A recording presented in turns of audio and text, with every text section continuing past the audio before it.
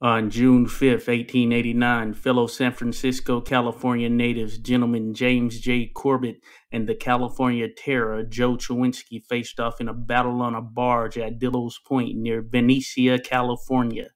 Corbett wore two ounce gloves while Choynski wore skin tight leather driving gloves after some argued purposely forgetting to bring his gloves on board the barge in an effort to force a bare knuckle fight. The two men were bloodied and bruised as one might expect, though Choynski got the worst end of the contest. Corbett outskilled his foe and knocked him out in the 27th round, never ceasing to lead from the start of the fight. This was a return bout as the two men had fought four hard rounds in Fairfax, California, some six days earlier in a match that was stopped by the police after four rounds.